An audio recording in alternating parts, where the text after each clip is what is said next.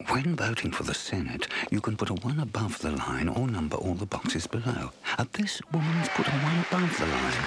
Yes, a perfect vote. This woman has numbered all the boxes below. Another perfect vote. And this man's gone below the line, but he hasn't numbered all the boxes. A wasted vote. When voting for the Senate, number one box above the line or number all the boxes below. It's your right. Don't get it wrong.